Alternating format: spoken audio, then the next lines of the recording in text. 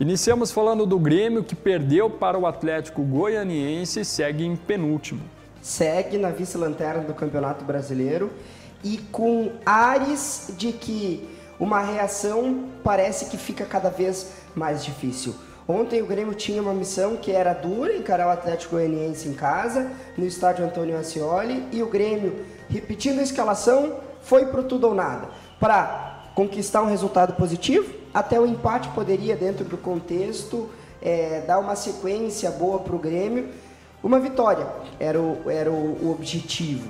Mas o Grêmio falhou. O Grêmio fracassou e tombou diante do Atlético Goianiense, perdeu por 2 a 0, com problemas na defesa, com problemas para conseguir fazer, principalmente no segundo tempo, gols no time adversário, para furar o bloqueio defensivo e acabava sofrendo com muita velocidade do time do Atlético Goianiense, que conseguiu fazer com que esses três jogadores que estavam amarelados no sistema defensivo do Grêmio, depois o Paulo Miranda foi expulso e o Atlético Goianiense se aproveitou disso. O Paulo Miranda expulso deixa o Grêmio com 10 em campo, pênalti que depois selou o 2 a 0, que tem um reflexo muito expressivo e o Grêmio que cada vez mais começa a caminhar agora em passos largos a Série B.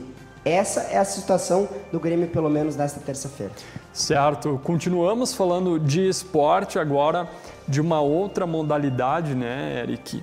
Vamos abrir aqui ó, a Gratidão, não sei se é assim que se diz, de vôlei de areia. Gabriel Clark e Pedro Vanelli são vencedores na etapa masculina. Isso aí, no campeonato municipal, Gredu, né, do vôlei de areia, que era, era disputado em duplas e tá aqui a matéria no nosso site, né? O Gabriel e também o Pedro Vanelli que conquistaram.